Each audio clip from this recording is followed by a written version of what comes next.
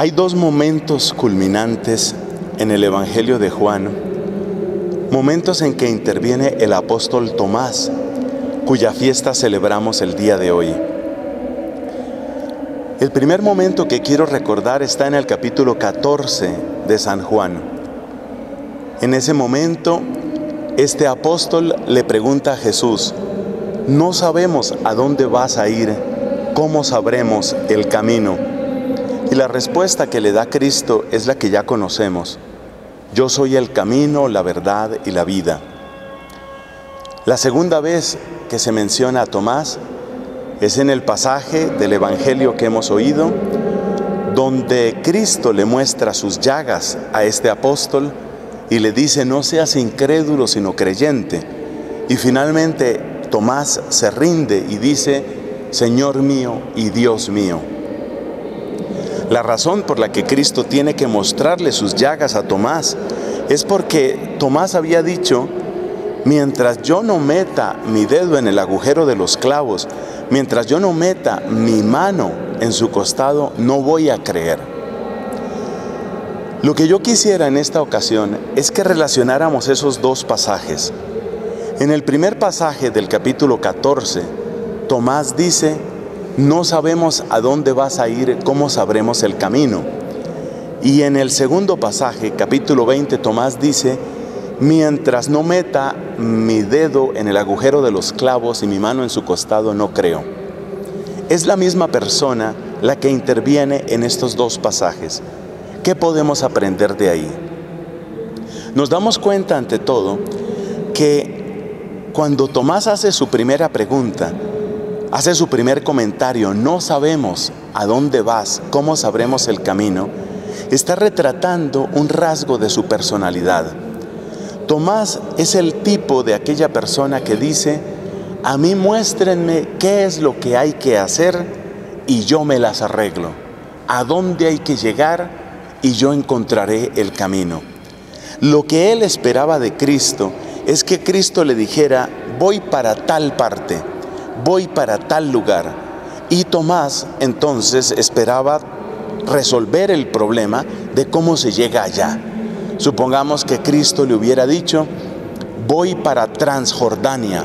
Y entonces Tomás hubiera dicho, bueno, yo veré cómo llego a Transjordania. Tomás es el tipo de aquella persona que quiere trabajar por objetivos. A mí díganme lo que hay que hacer y yo decidiré cómo lo hago. Tomás quiere conservar el control de las decisiones y únicamente espera que le digan cuáles son los resultados, cuáles son las metas que se supone que debe alcanzar.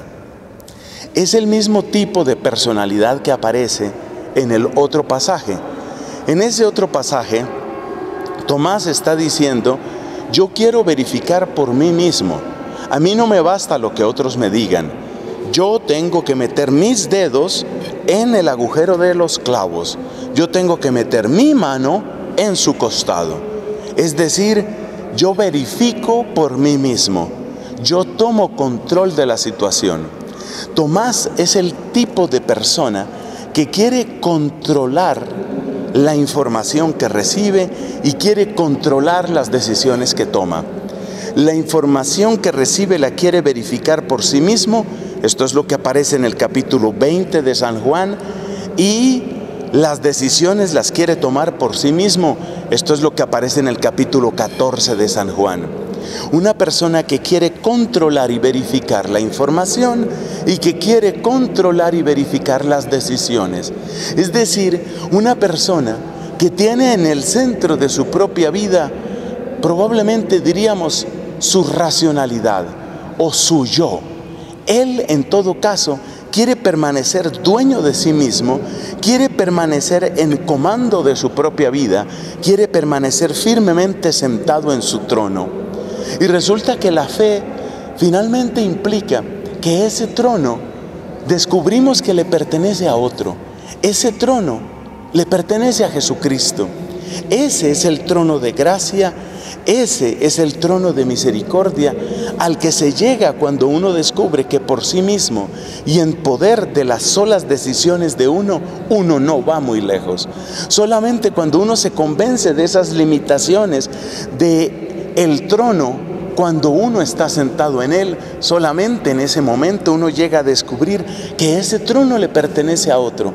Y en el momento en el que le entregas tu trono, en el momento en el que le entregas el timón de tu vida a Jesucristo, en ese momento, exactamente en ese momento, empezaste a ser creyente.